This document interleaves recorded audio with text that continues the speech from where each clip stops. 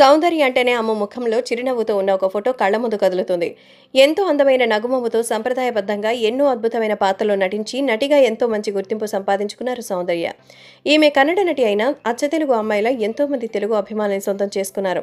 ఈ విధంగా సౌందర్య పన్నెండు సంవత్సరాలతో పాటు ఇండస్ట్రీలో అగ్రతారగా కొనసాగి దాదాపు నూట ఇరవై సినిమాకి పైగా నటించారు.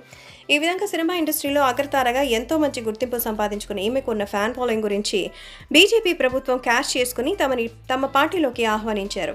ఇలా రెండు వేల నాలుగులో ఎన్నికల్లో పోటీలో భాగంగా ఈమె పెద్ద ఎత్తున ప్రచార కార్యక్రమాల్లో పాల్గొన్నారు.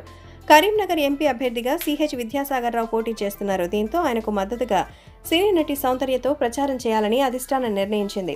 ఈ ప్రచారంలో భాగంగా సౌందర్య తన అన్నయ్య అమర్నాథ్ తన ఫ్రెండ్ రమేష్ ముగ్గురు కలిసి బెంగళూరు ఎయిర్పోర్ట్ నుంచి కరీంనగర్ బయలుదేరారు. ఈ ముగ్గురు హెలికాప్టర్ ఎక్కిన తర్వాత హెలికాప్టర్ స్టార్ స్టార్ట్ అయి గాల్లో ఎగిరింది. అయితే కొన్ని సాంకేతిక కారణాల వల్ల హెలికాప్టర్ పైలట్ వేగం పెంచకముందే వేగం పెరిగిపోవడంతో లోపలున్న వాళ్ళు ఏమైందంటూ ప్రశ్నించారు. పైలట్ సమాధానం చెప్పేలోపే ఒక్కసారిగా హెలికాప్టర్ కిందకు దూకొచ్చింది.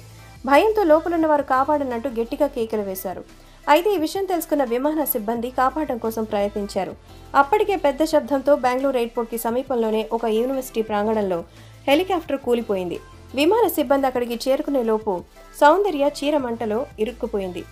మంటలు ఆర్పే ప్రయత్నం చేసినా వీలు కాలేదు. మంటలు ఆర్పేసరికి హెలికాప్టర్లో ఉన్న నలుగురు మాంసపు ముద్దలుగా మిగిలిపోయారు.